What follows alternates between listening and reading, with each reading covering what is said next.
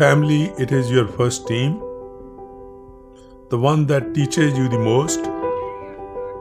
They help you to build good habits and healthy relationships.